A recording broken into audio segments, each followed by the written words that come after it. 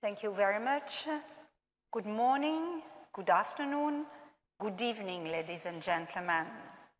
I would like to welcome you to the first international webcast organized by Convatec on evidence on silver dressing technology, making choice clearer.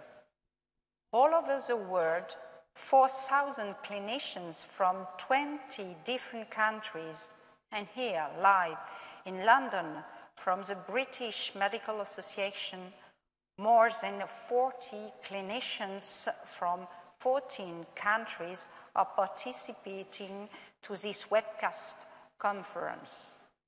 Two speakers will give lectures.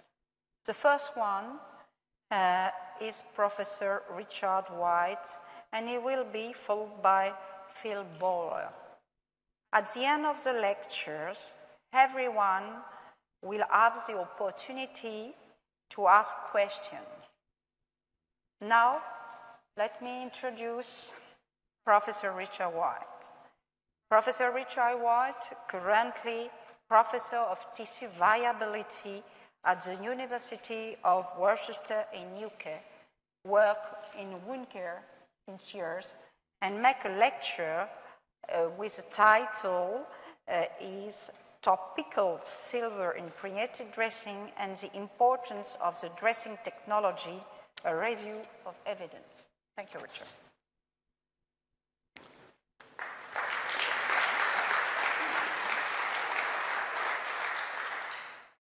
Thank you very much, Sylvie. Good, good day, everyone, wherever you might be.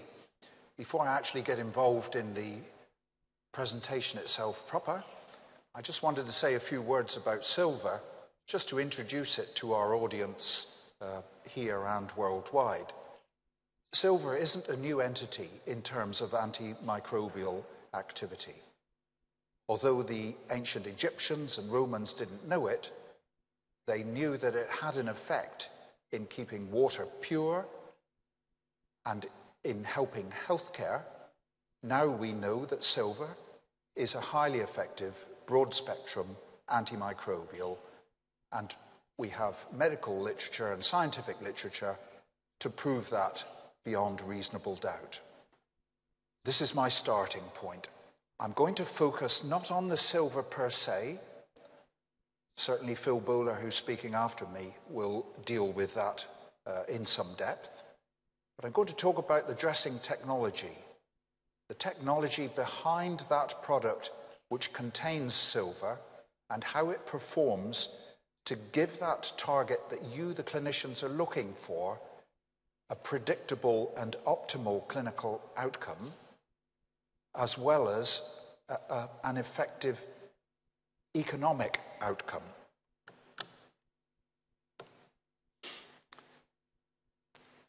Given the broad spectrum antimicrobial activity, the criteria for selecting a dressing are, in my opinion, as follows.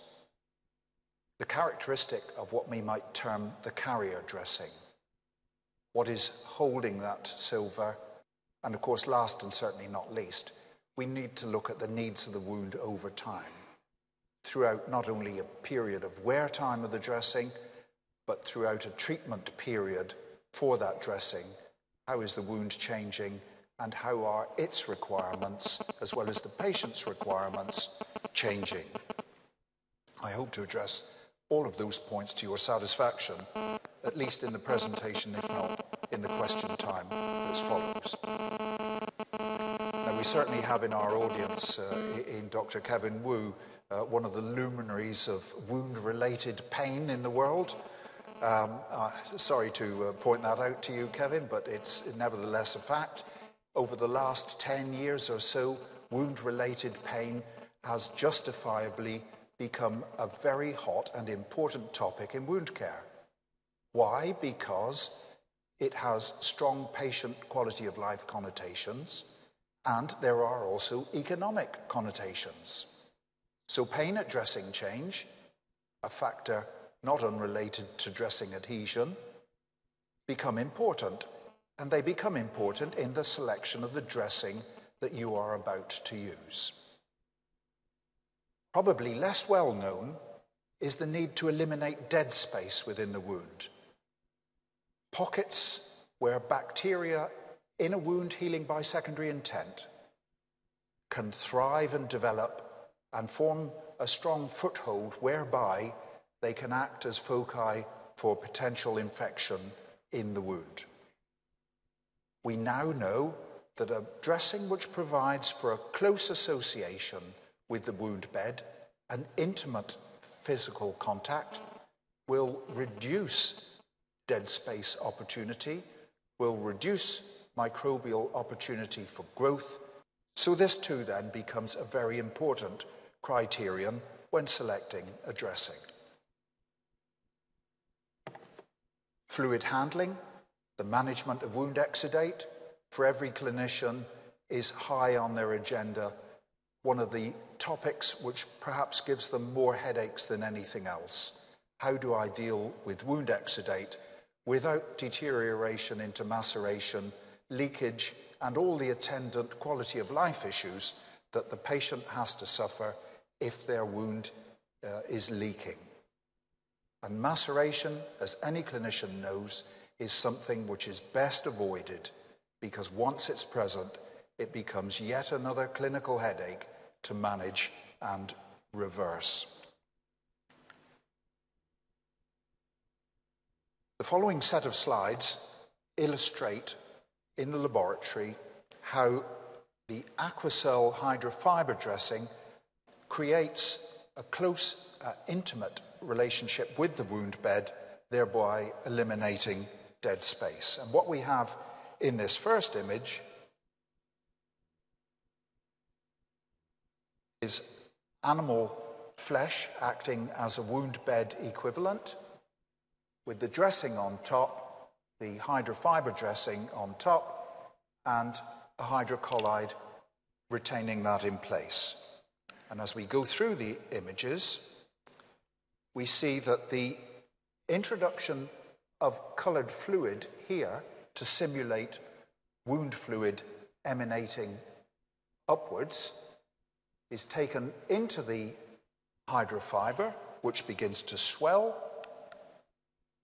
And in the next image, the hydrofiber has swollen considerably,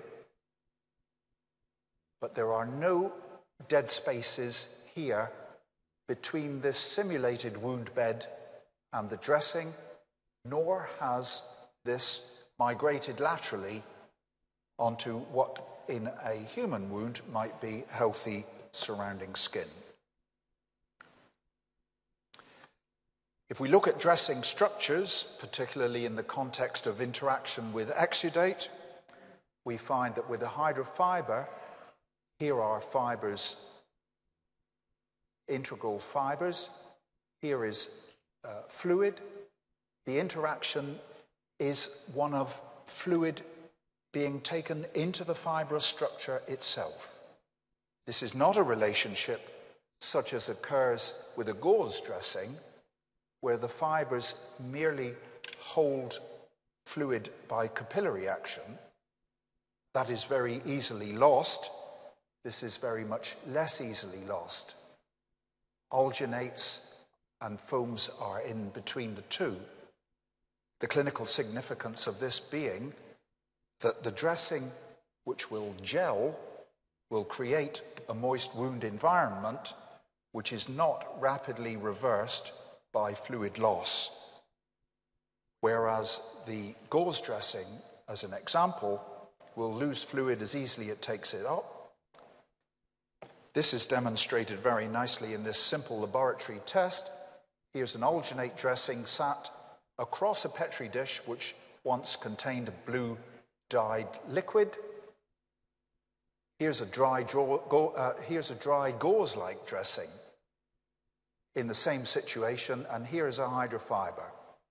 And it's quite clear that the hydrofiber here has taken up the blue colored liquid and retained it only in the area in contact with the fluid, whereas in these other instances, the fluid has migrated laterally. Looking at this in terms of uh, multiple applications, what we have here are four different uh, colored fluids. The Aquacel dressing has been dipped in each sequentially, and you can see there very neatly that there is no lateral migration uh, of the, the colored pigment. If you do this with a gauze or an alginate, you will see that the colors merge together. So there is a free diffusion throughout the dressing.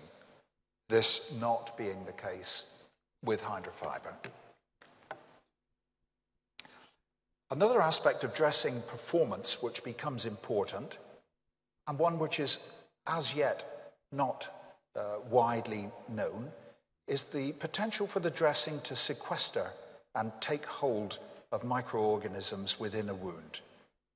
The capacity to absorb and retain bacteria in a wound is an important infection control mechanism because it reduces the bioburden in the wound. It has an impact on any toxins, whether they be exo or endotoxins. And as I've already said, across infection risk reduction. And that can be de- demonstrated quite elegantly by scanning electron microscopy, where here we have individual fibers of hydrofiber, and in here, thousands upon thousands of Staphylococcus aureus sequestered onto the dressing fiber. Now, we started talking about silver, and our focus is a silver dressing. And the characteristics that make that silver dressing functionally perform, perform well are its delivery of silver, as well as those ancillary performance characteristics that I've just been through. If we look at Aquacel silver, we are told that it delivers silver at low levels.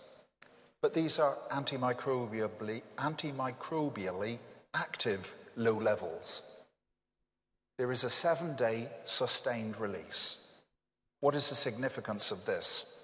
Well, other aspects of the dressing, such as its gelling uh, and moist wound healing capacity, realistically make this a dressing which can stay in place for seven days. If you want it to be antimicrobially active for seven days, then clearly this is an important criterion. There is no point having a dressing which will deliver silver for seven days if its maximum wear time is only one or two days. It's also a sustained release, and both are very important. Phil Bowler will speak after me upon matters of silver release that are relevant to wound bioburden control. Very important clinical performance criterion. Skin staining is obviously an issue for everyone who is using silver because it can hardly escape any of us that the uh, risks of skin staining or, or argyria are present We've learned this from long experience with silver sulfadiazine cream. Does this necessarily translate to wound dressings? Well, the answer is not to the same extent, but again, not all wound dressings are the same. And there are published data on Aquacel AG which shows its skin staining potential to be extremely low indeed. So this need not be an issue for the clinician. Now, although you can't see it on this slide, right down here it says White 2003. Many years ago, and uh, 2003 is many years ago in my lifetime, I considered, as silver dressings were just becoming uh, very hot property on the wound care market in the UK and elsewhere. What are the important features that a clinician needs to be aware of in order to make the right selection? And I think my first one is, is probably uh, the most pertinent because it has to deliver silver. You are using a silver dressing in order to obtain an express clinical outcome. Whether the wound you're treating is critically colonized or locally infected, you have an objective in mind for the use of that dressing that you want that dressing to fulfill and fulfill quite clearly. And this is how it does it. The combination of antimicrobial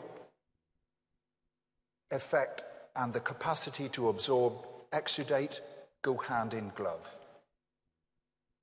Is the bioburden a wound problem for you? If the wound is dry, you're thinking to yourselves, when does that ever happen? A wound that is heavily colonized, locally infected, will invariably be exuding. You therefore have to deal with the exudate at the same time that you deal with the bioburden. Here we have a powerful health economic case to address. Do you use two dressings to do that, or do you use one? Is the dressing easy to apply and remove?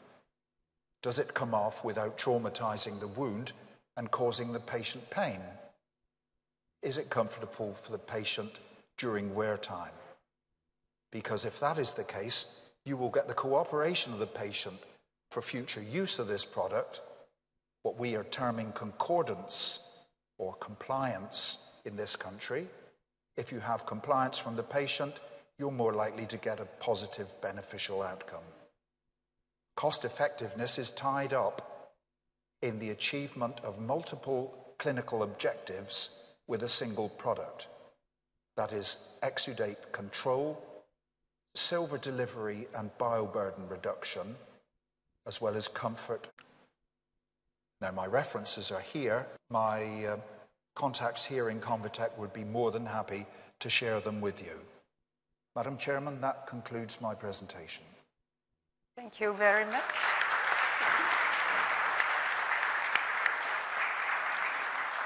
Thank you very, thank you very much for this brilliant lecture, Richard.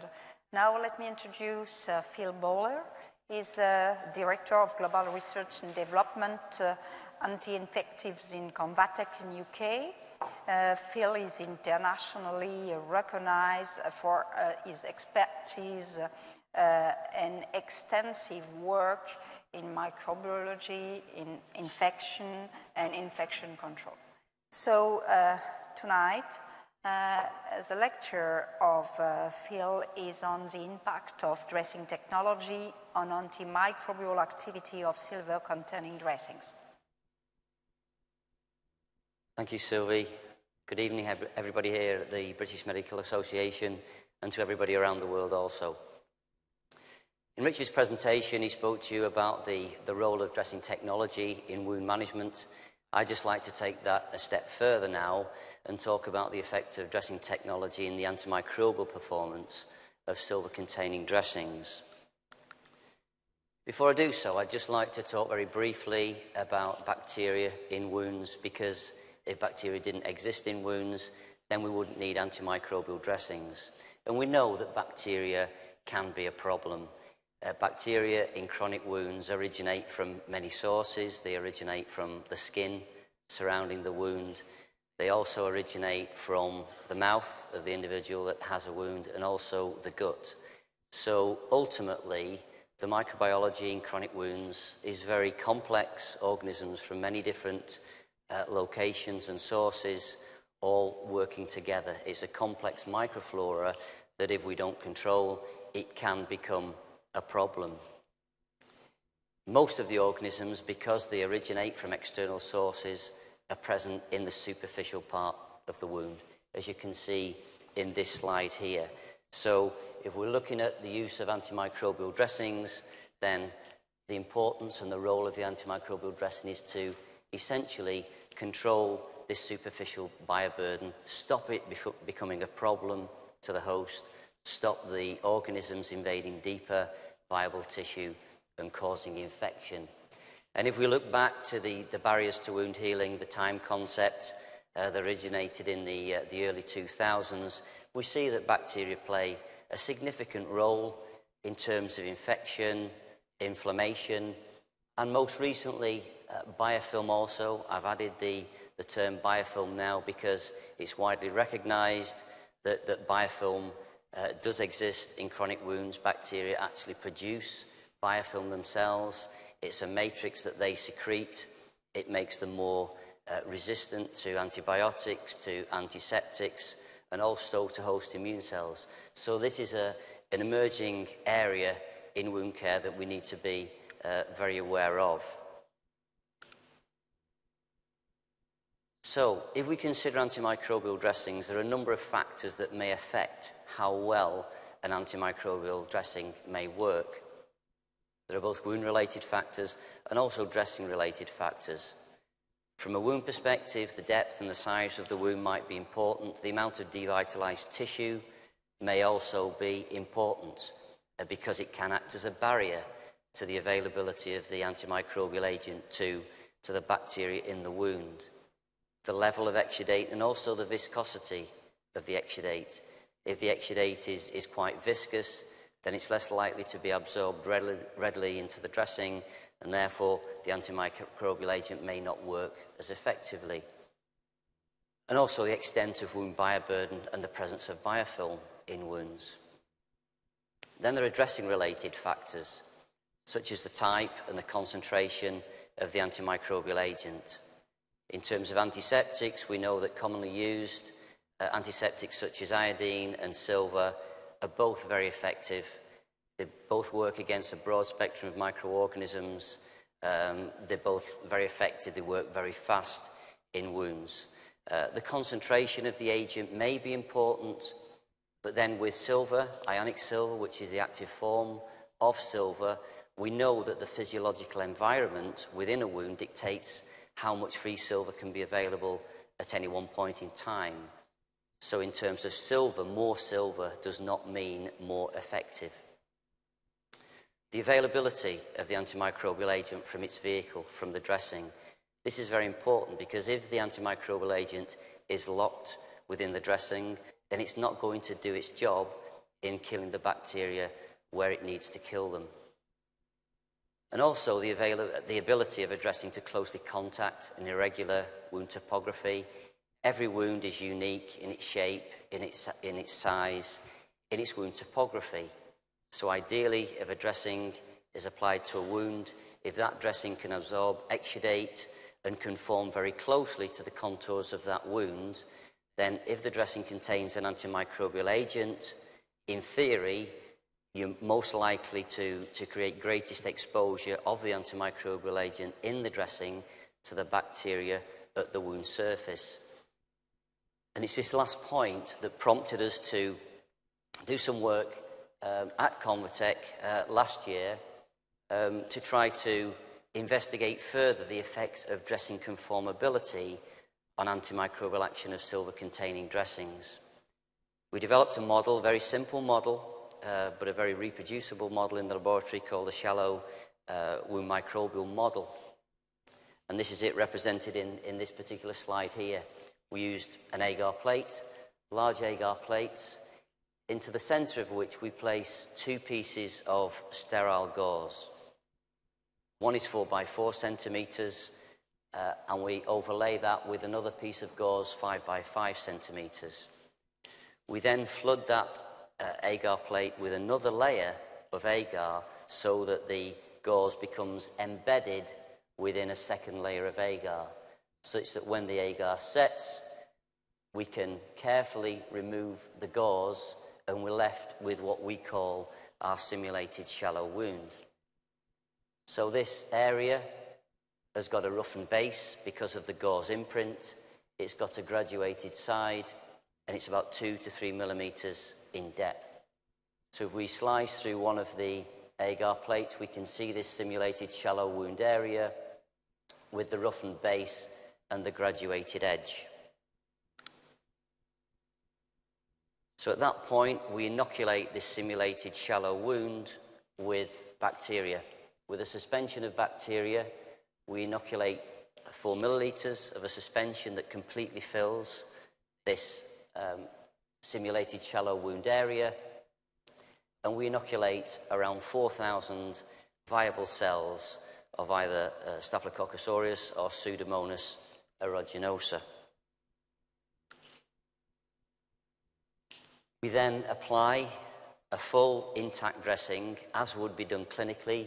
You can see the dressing being applied aseptically here with the release liners being removed, the dressing being placed over this simulated shallow wound. And again, as it would be done clinically, so that the dressing is placed centrally and it overlaps and sits on the surrounding prominent agar that would be akin to uh, skin surrounding a wound. The dressing is then gently uh, secured into place um, over the inoculated agar surface. And at that point, we then incubate this plate at body temperature for 48 hours, which is an approximate time for uh, wear time of, of a dressing of this type. And after that time point, after 48 hours, remove the dressing and we look to see whether the silver containing dressing had any effect on the bacteria inoculated into the simulated shallow wound area. Now, what we also did as part of this experiment was to use time lapse photography. We actually placed a camera beneath the agar plate and we took photographs at regular intervals over the 48 hour period such that we could put a video together to observe whether bacteria were actually growing in situ under the dressing over the 48 hour period.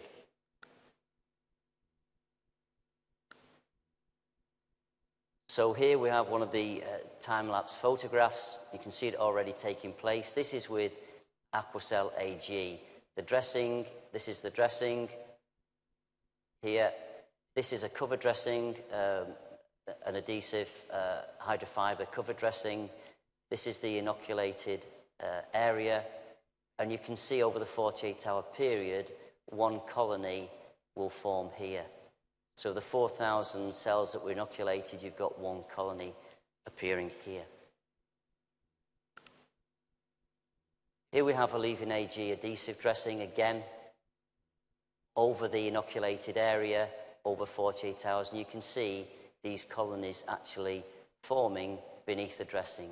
So despite this dressing containing silver, it wasn't able to control the bacteria. And then with another dressing, this is Mepilex AG, again, over time, you can see the bacterial colonies growing within the inoculated area. Uh, but we all, what we also noted was that the, uh, the suspension had actually spread out onto the prominent agar and was growing around the inoculated area. So, if we look at these three dressings again, we see that despite all these dressings containing silver, they, in this model, they appear to work in very different ways. So here we have um, Aquacel AG.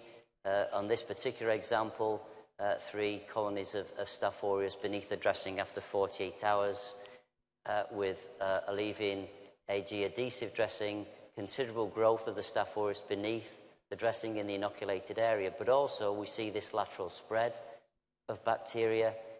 And with Mepilex AG, again, considerable growth uh, in the area where the bacteria were inoculated, but again, we're seeing this lateral spread beneath the dressing, an actual growth of the Staph aureus on the wound contact surface of the dressing. So despite this dressing containing silver, the bacteria were able to grow on the surface of the dressing. So this made us think further because in this respect where bacteria contaminated this prominent agar, there was direct contact between the dressing and the agar. So this indicated to us that there may be factors other than dressing conformability that was compromising the activity of this silver containing dressing. So we developed a, another simple laboratory model to look at this in more detail. We call this the flat seeded agar model. The way we, we generate this is this represents uh, another agar plate here. The green zone is a sterile layer of agar within the plate. We then pour another layer of molten agar over the top of the sterile agar layer. This second layer is inoculated with bacterial cells, either Staph aureus or Pseudomonas aeruginosa. This layer forms a, a layer approximately two millimeters thick. So this is a, a seeded agar layer approximately two millimeters thick. We allow this second layer of agar to solidify and then incubate this plate for, for approximately four hours to allow the bacteria to begin to establish.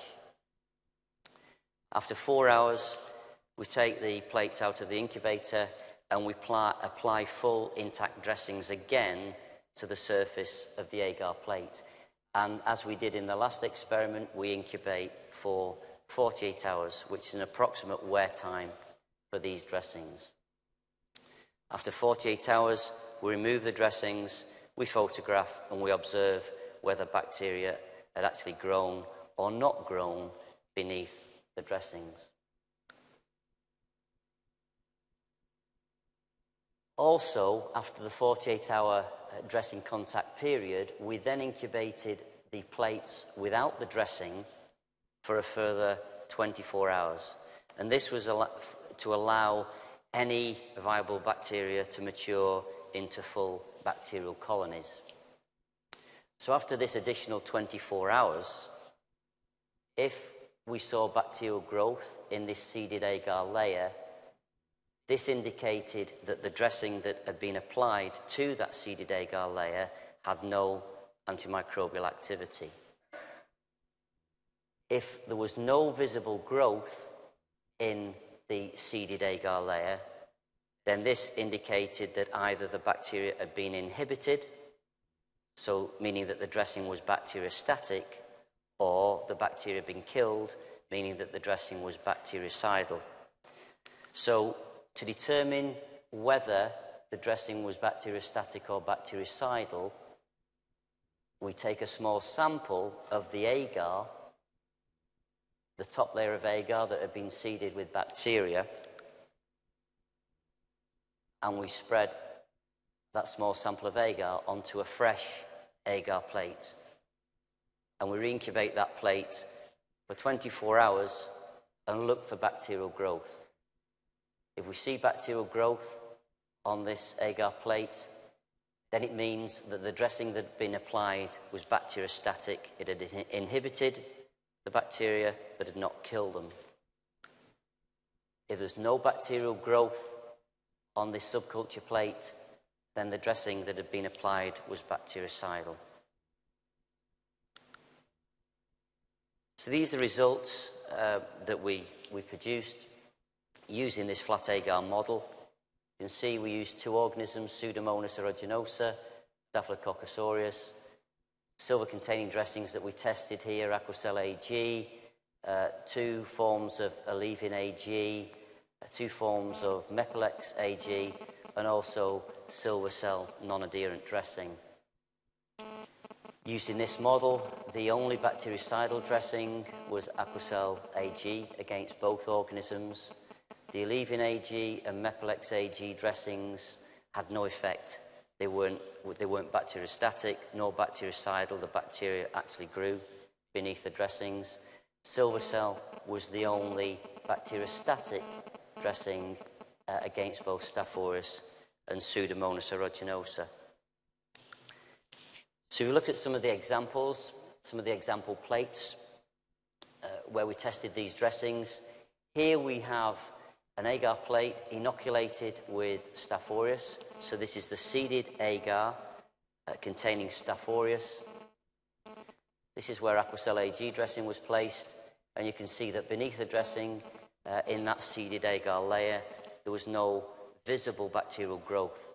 So when we take a small culture of the agar from the center and we subculture it, again we see no growth, meaning that the dressing is bactericidal in this model. If we look in detail at, at the dressing, um, it consists of um, fibers, homogeneously distributed fibers containing ionic silver, and there is direct exposure of these silver containing hydrofibers to the bacteria inoculated beneath them. If we look at one of the other dressings tested, Allevyn AG gentle border dressing, you can see that there's considerable growth of Staph aureus beneath this dressing. Another example with Silvercel non-adherent dressing. Again, you can see the bacteria growing around the periphery of the plate. There appears to be uh, minimal growth of Staph aureus beneath the Silvercel non-adherent dressing. Uh, there is some indication of growth here, and when we do take a stab culture from the center of the plate and subculture that onto a fresh plate, it does grow, indicating that, that in this test, uh, Silvercel non-adherent dressing is bacteriostatic, it inhibits bacteria, but it doesn't kill them. Another example, Mepilex AG dressing. You can see the imprint of the dressing on the agar plate, but there is total growth of Staph aureus beneath this dressing. So this led us to, to look at this in a bit more detail. Clearly, this dressing contains silver in the form of silver sulfate, but it had no effect on the bacteria inoculated directly beneath the dressing. So we took this one stage further and we actually sliced the dressing down the centre and used one of the exposed edges to place on a similar seeded agar plate to see whether the exposed edge of the dressing had any antimicrobial effect. And this are the results here with Mepilex AG dressing. What we have here is a seeded agar plate with Staph aureus. This is the wound contact layer or surface of Mepilex AG applied to the seeded agar, and we see complete growth of Staph aureus as we did in the previous slide. This is the top surface, the upper surface of the dressing, and although there is some bacterial growth, we actually see more activity than we do with the wound contact surface of this dressing. But then when we cut the dressing down the centre and place one of the exposed edges, we do see antimicrobial activity. With Aquacel AG dressing, irrespective of the orientation of the dressing, whether it's one surface or the other surface or the edge of a dressing, we see total kill of the bacteria beneath the dressing. Whilst this is our work, uh, this type of data has been generated elsewhere.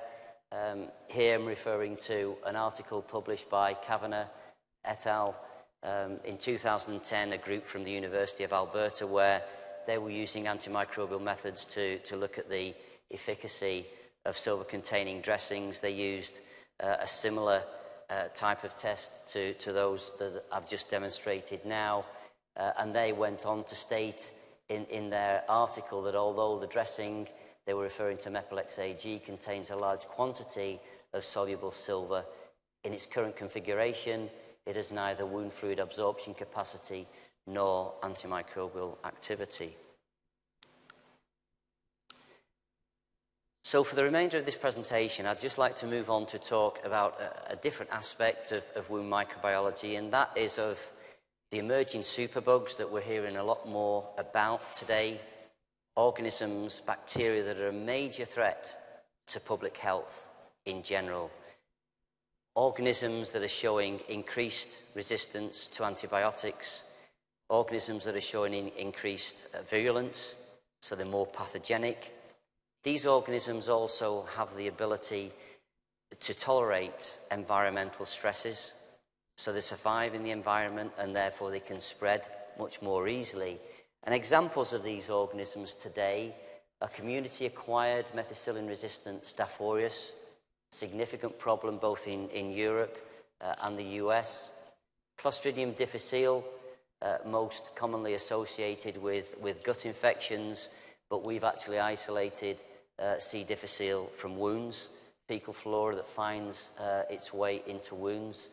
Acinetobacter baumannii, this is a significant um, problematic organism both in, in the hos hospital environment associated with hospital-acquired infections, but also in the battlefield. It's the most prevalent organism in war wound infections.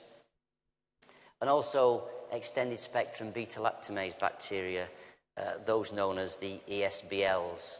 Um, these are gram-negative bacteria such as Klebsiella and E. coli, uh, and also Pseudomonas. So there are a whole mix of organisms, bacterial organisms today, recognised as superbugs that are becoming an increasing threat uh, in healthcare today.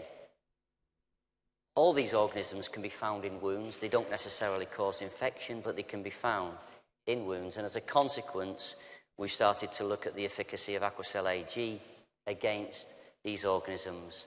We've used a model that we've used uh, previously, first published in, in 2004, that we call a simulated wound fluid model, where we take uh, a suspension of bacteria. That suspension contains a bacterial growth medium, and it's supplemented with serum. So the serum provides lots of components within it, proteins and ions that can compete with silver when you apply a silver dressing to the simulated wound fluid. So into the simulated wound fluid, we place a small sample of the Aquacel AG dressing.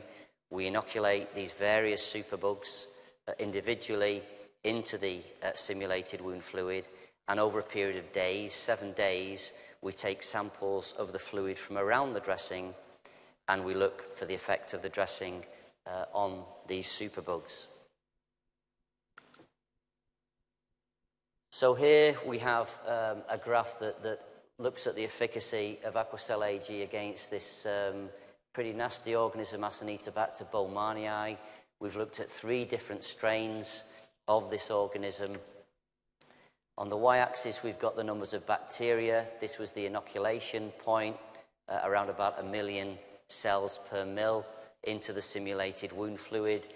Uh, on the x-axis, we have time, uh, number of days, the dotted lines across the top of the graph represent the growth of these strains of bacteria in the absence of Aquacel AG.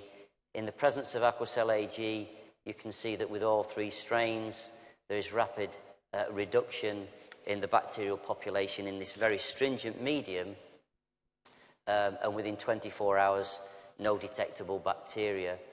The reason we see a spike at day two is that at that time point we re-inoculate the simulated wound fluid with fresh bacteria, with fresh uh, strains uh, of Acinetobacter baumannii, because in a wound environment, no antibiotic, no antiseptic will, will sterilize a wound. There will always be some organisms there, so we try to simulate that and create a more stringent environment by re-inoculating bacteria at this time point. But again, that one piece of dressing was shown to maintain its efficacy in killing the organisms, and none, uh, no further organisms were detected throughout the, the test period. If we look at uh, two other organisms, community-acquired MRSA and C. difficile, again, the dotted lines across the top represent the growth of these organisms, uh, natural growth curves in the absence of Aquacel AG. In the presence of, of Aquacel AG, we see reduction. Uh, less so with uh, MRSA, the community-acquired MRSA. Every bacterium will have different tolerances to an antimicrobial agent, whether it's an antibiotic or an antiseptic. So it's not unusual to see uh, gradual declines with some bacteria compared to rapid declines with other. Uh, the cell wall is, is variable, it differs in different types of organisms. So this is why we see variable activity. But again, uh, with community-acquired MRSA, we see this decline, re-inoculate uh, at day two, and then a constant decline to non-detectable by day seven. Uh, with Clostridium difficile, um, Aquacel AG was very effective against this organism, rapid decline, uh, re-inoculate at day, day two, and uh, again, a subsequent rapid decline of this organism. And again, looking at the extended spectrum beta lactamase, bacteria, again, the natural growth curves for these organisms. Here we're using two strains of highly antibiotic resistant E. coli and one strain of antibiotic resistant Pseudomonas aeruginosa. Uh, but irrespective of these organisms being highly antibiotic resistant, so in a wound environment, if these organisms were to exist, antibiotics are not likely to work against these organisms, or very selective antibiotics only would be effective against these organisms. But here we're showing that Aquacel AG is very effective in killing these organisms, re-inoculation, and again um, kill. So I, I think this also emphasises the importance of topical antimicrobial dressings in helping to manage infected wounds and certainly those at risk of infection. They may be used with, in combination with, antibiotics, and together they may work synergistically, um, or where the wound is only locally infected um, or there is a risk of infection, then maybe the dressings alone can be used. So, in summary, the incorporation of an antimicrobial agent into a dressing does not necessarily result in an effective antimicrobial dressing because that antimicrobial agent must be made available to the wound bioburden to maintain its control. And finally, Aquacel AG dressings exhibit broad spectrum and sustained antimicrobial activity, including activity against antibiotic resistant and emerging superbugs. Thank you very much for your attention.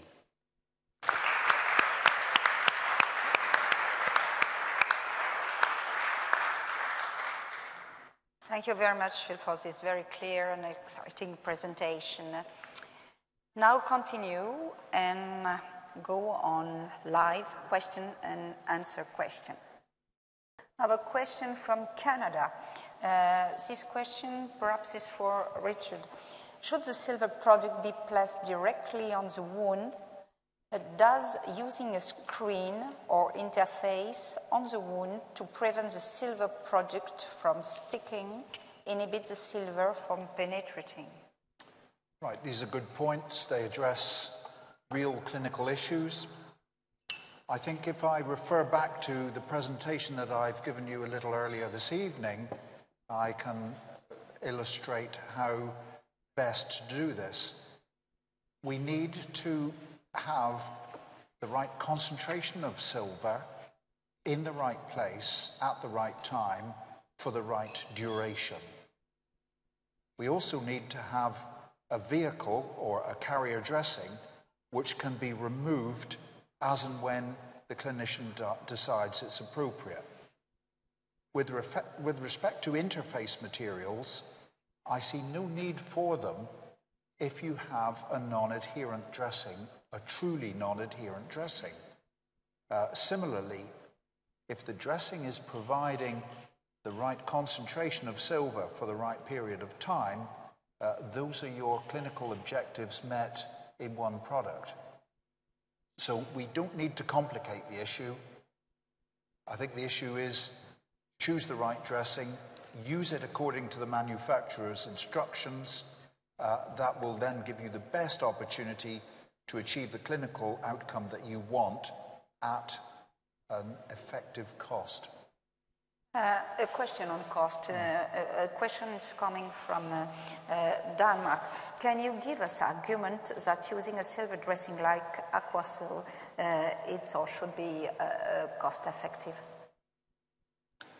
Well, cost effectiveness is, is something that's not usually consistently defined. It depends uh, who you're listening to. There are people who actually believe cost effectiveness is simply unit cost of product. I would prefer to look at it as the economists do at the cost of achieving a given outcome. And that's an altogether more complicated uh, calculation to embark upon. So, first of all, set yourself a clinical target to achieve, and then measure the costs of the products, the time, all the interventions needed to achieve that clinical target. And it is certainly not as simplistic as the individual cost of a given dressing. Thank you. A question from Scotland, perhaps for Phil. Is a higher dose of silver more effective at reducing bacterial levels than a lower dose of silver? I think I, I briefly uh, addressed this at, at the outset of, of, my presentation. Certainly with respect to silver, I mentioned that the active form of silver is the silver ion or ionic silver. Any other form of silver that may be delivered to a wound, whether it's a silver salt, silver sulfadiazine, silver nitrate, metallic silver, any type of silver uh, of those forms need to transition to ionic silver to become effective. Ionic silver is very weakly positively electric, electrically charged, um, and it has an attraction for negatively charged ions. And in, in wound fluid, wound exudate, um, the most abundant anion, negatively charged ion, is, is chloride.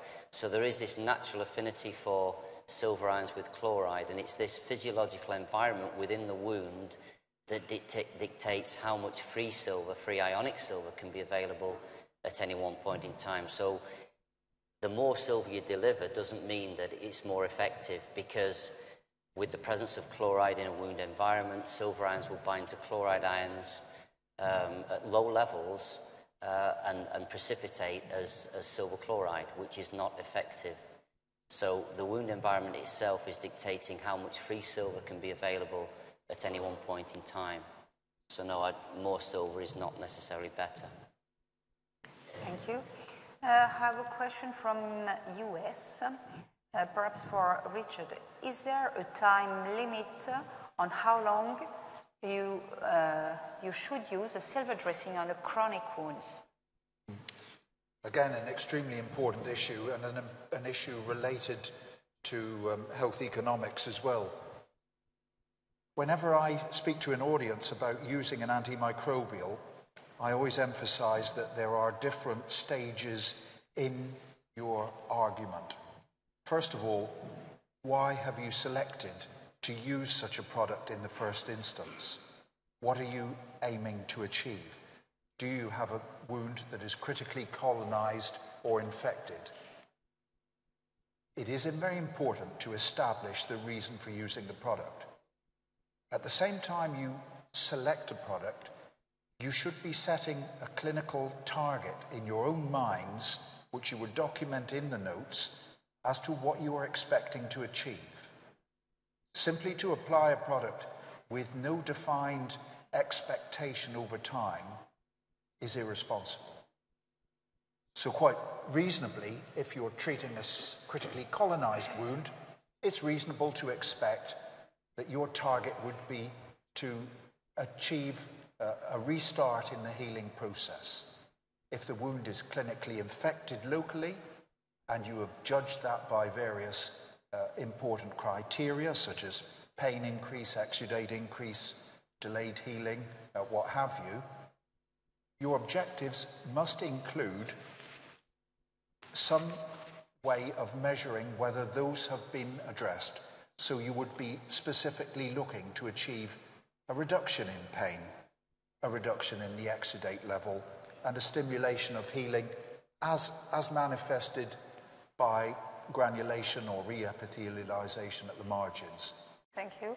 Uh, and another question from Italy. Is, uh, this question is not translated, but I, I, I try to understand. It's uh, uh do you think uh, resistance uh, exists against silver dressing?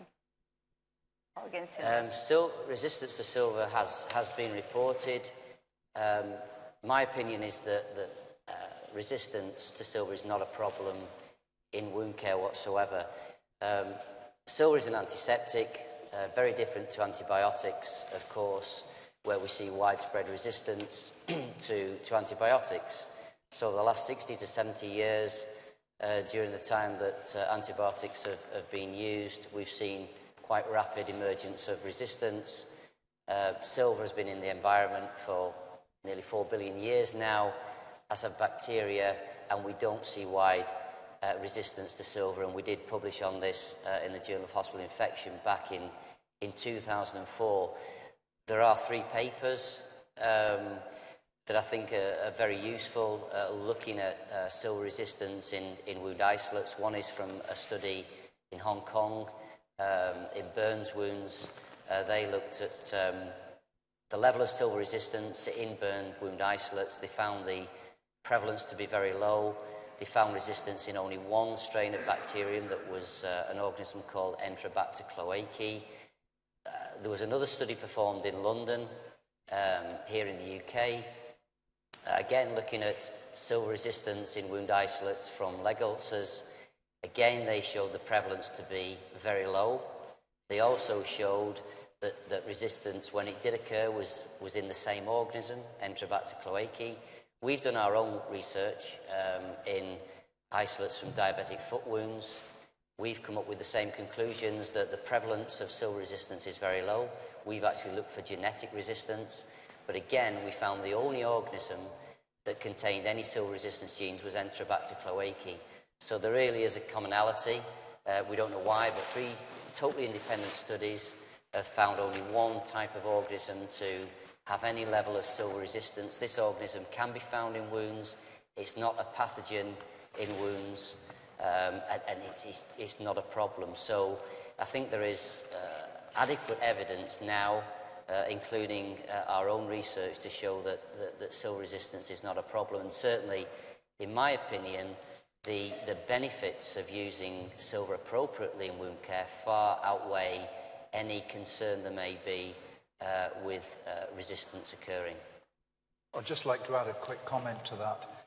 Um, silver has been a mainstay in burns therapy for 40 years since silver sulfadiazine was developed and formed into a cream uh, back in the mid 60s. And that is gradually falling into disuse now, not because of resistance problems, but because of the problems associated with covering burns with uh, handfuls of cream. Um, so there would have been ample opportunity in human clinical situations for organisms to be selected uh, as resistant to silver, and we are just not seeing it. So it's, um, as Phil says, uh, not uh, completely unknown, but not clinically relevant. Thank you very much. Uh, I think now we have to close uh, this very interesting uh, webcast conference. I would like to thank first our two presenters, Professor Richard White and Phil Bowler. Thank you also to the audience for question and participation. And thank you to Convatec uh, to, invest, to invest since years in innovative and uh, new technology uh, to improve quality of life of our patients, to improve science and improve education. Thanks.